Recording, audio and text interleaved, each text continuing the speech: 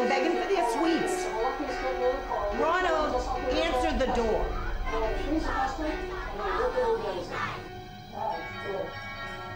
No ice cream?